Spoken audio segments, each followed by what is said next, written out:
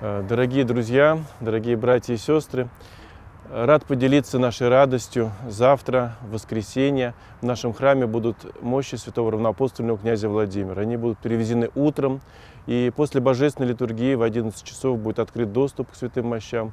И в течение всего дня до 10 часов вечера, до 22 часов можно будет прийти, помолиться, поклониться мощам святого равноапостольного князя Владимира, крестителя Руси. Напомню, что 2015 год – это год тысячелетия э, его представления, юбилейный год. И вот как раз с этим и связано э, посещение святыми мощами храмов Москвы. Сегодня храм, в храме Преображения Господня рядом с метро Преображенская площадь находятся мощи. А завтра утром, напомню, они будут привезены в наш храм.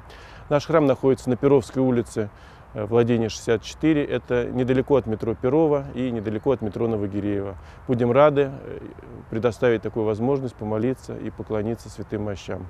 Спаси Господи.